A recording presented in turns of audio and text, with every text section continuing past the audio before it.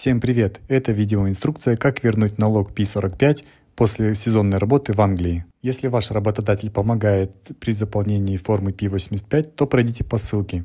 Если нет, то в описании вы найдете ссылку. Переходите по ней, и я вам расскажу, как заполнить форму P85. Итак, стартовая страница рассказывает, что это за форма P85, что вам необходимо заполнить и куда обращаться, если у вас возникли вопросы. Мы нажимаем «Далее». Следующий раздел «О вас». В первой строчке мы указываем фамилию. First name – это ваше имя. Следующий раздел – это адрес вашего последнего места проживания в Великобритании. Адрес последней фермы указан в форме P45. Переносим данные и заполняем поле номер телефона, чтобы с нами могли связаться, если возникнут вопросы. Далее указываем пол, мужчина или женщина, male, female. Указываем дату рождения, день, месяц, год рождения. Следующий пункт. А, есть ли у вас национальная страховка? Если у вас ее не было, указывайте No.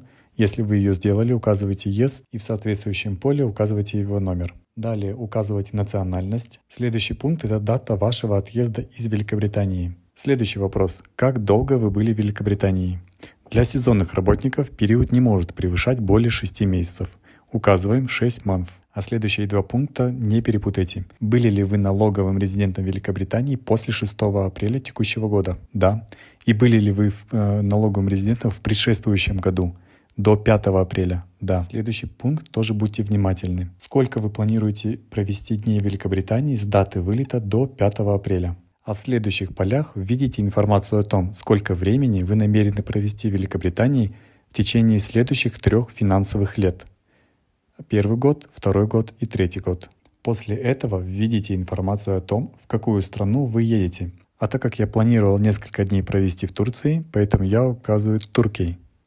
Обязательно укажите полный и правильный адрес, где вы будете проживать в стране вылета. Затем укажите информацию о том, чем вы будете заниматься после отъезда из Великобритании.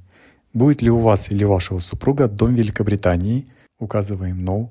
Будете ли вы работать полный рабочий день? No. И будут ли вам продолжать выплачивать зарплату из Великобритании? No.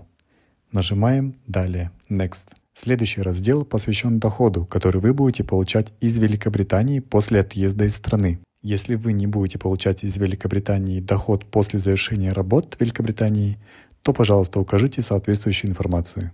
Нажимаем «Далее». Здесь вы можете выбрать выписать чек на получение денежных средств непосредственно вами или уполномоченным вами лицом. Вам нужно выбрать, чтобы чек был выписан на ваше имя.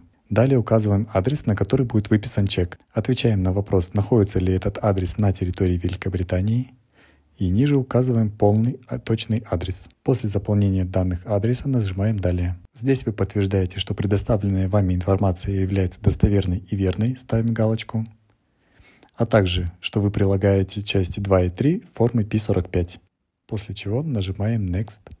Здесь будет указан адрес налоговой службы, куда необходимо будет отправить письмо с обязательным приложением распечатанной формы P45. А здесь у нас на выбор уже будет две кнопки. Вернуться обратно, чтобы исправить какие-либо ошибки, либо отправить форму на печать. Здесь вы можете все еще раз внимательно проверить. Если допустили какие-то ошибки, вы можете вернуться и исправить их. Обратите внимание, что на последней странице у вас добавится дополнительных два поля для вашей подписи и поставьте дату заполнения. И всем желаю удачных возвратов налогов.